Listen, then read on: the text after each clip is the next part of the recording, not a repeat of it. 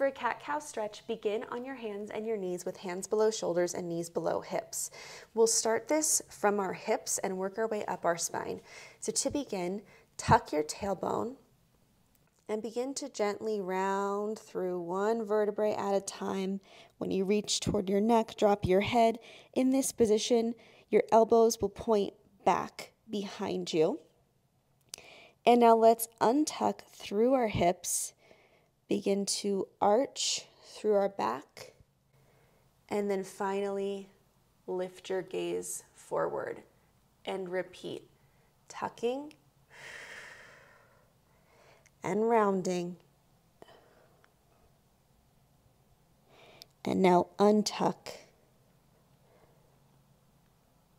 and gently arch.